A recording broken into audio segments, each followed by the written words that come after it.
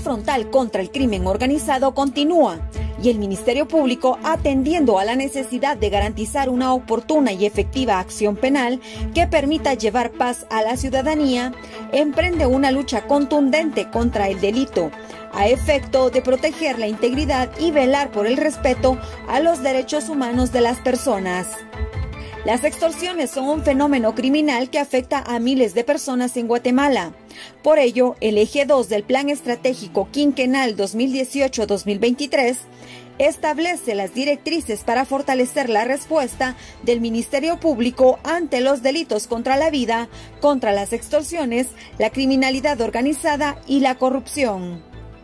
En ese sentido, la fiscal general de la República y jefe del Ministerio Público, doctora María Consuelo Porras Argueta, brinda una respuesta pronta a la población afectada por este delito, a través de acciones estratégicas en la lucha contra la criminalidad organizada, acercando los servicios a la ciudadanía por medio de la creación de la Fiscalía contra el Delito de Extorsión en el municipio de Misco. La Fiscalía contra el Delito de Extorsión ha generado acciones positivas para combatir este flagelo. A través de la investigación, acción y persecución penal de delito de extorsión, exacciones intimidatorias, obstrucción extorsiva de tránsito y todos aquellos hechos que tengan por finalidad la entrega de dinero u otro beneficio. Como resultado, en lo que va del 2020, la Fiscalía ha logrado 98 sentencias en las que 148 personas han sido condenadas. Se han ejecutado 329 órdenes de aprehensión y se han realizado 459 allanamientos, entre otras acciones positivas. Además, con el apoyo del proyecto Seguridad y Justicia de USAID, en diciembre de 2019 se inauguró la Fiscalía contra el Delito de Extorsión de Villanueva, dando seguimiento a la ampliación de los servicios y cobertura a nivel nacional, priorizando estratégicamente las áreas en las que existe mayor incidencia en la comisión del delito.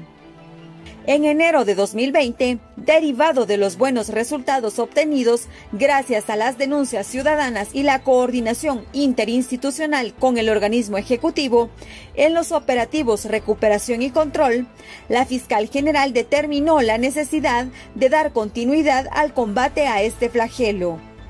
Estas acciones estratégicas dan como resultado la creación de la Fiscalía contra el Delito de Extorsión en Misco, gracias al apoyo del proyecto Justicia y Transparencia de USAID, lo cual representa un mensaje contundente a los grupos delictivos. Además, desde 2015 se brinda atención especializada e inmediata a través del centro de llamadas, el cual atiende de manera segura e inmediata las 24 horas, los 365 días del año, por medio del número 1574. La creación de la Fiscalía contra el Delito de Extorsión en Misco es una muestra fehaciente del firme compromiso del Ministerio Público con la ciudadanía a través de acciones determinantes en el combate al delito, en la búsqueda de la construcción de una sociedad más justa y en paz. Ministerio Público, justicia eficaz para todas y todos.